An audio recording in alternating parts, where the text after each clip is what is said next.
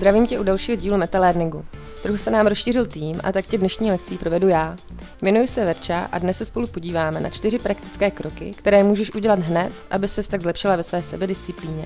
Budu vycházet hlavně z knížek a studií neurovědkyně Kelly McGonigal, která se věnuje tomuto tématu na Stanfordu. Je to též učitelka jogy a propagandka meditace. Můžeš si třeba přečíst její knížku Developer Instinct nebo Upside of Stress. Kelly uvádí, že lidé s velkou mírou sebedisciplíny jsou šťastnější a zdravější, žijí déle.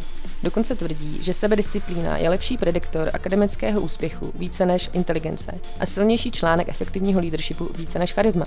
Tak pojďme na to. První krok. Vnes více jednoduchosti do svého prostředí, ať už si doma nebo v práci. Uklid si. Vyhoď, schovej nebo daruj zbytečnosti, které nepoužíváš a které nutně nepotřebuješ. Tvůj mozek tak nemusí pořád analyzovat, na co se podívat a co použít. Soustředí se tak na podstatné. S čistým stolem, kde máš jen tušku a papír, se hůř prokrastinuje. Druhý krok. Sniž si aktivační energii pro návyk. Chceš se naučit návyk a nedaří se ti ho udržet? Sniž si překážky na minimum. Připrav si ráno věci na cvičení a dej si je k posteli. Ráno, když vstaneš, máš jednu překážku za sebou a bude jednodušší se obléct a jít hned na to. Můžeš to snižovat na ještě nižší úroveň.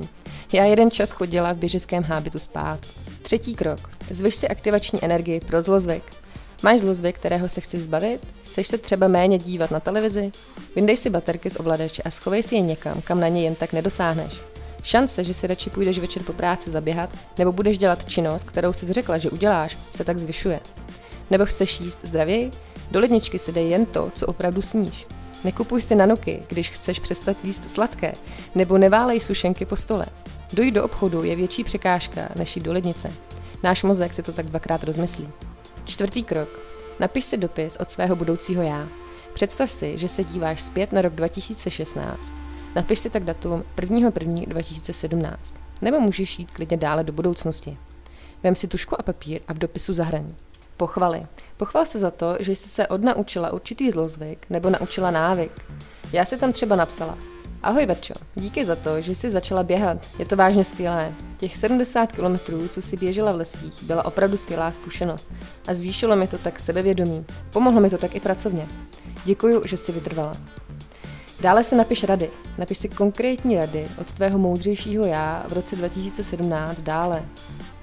Nakonec si dopis od svého budoucího já dej třeba na lednici nebo na nějaké místo, kde to pořád uvidíš a kde ti to bude připomínat, co jsi slíbila. Tak a pro dnešek je to z mé strany vše. Budu se na tebe opět těšit u další praktické lekce. Měj se fajn.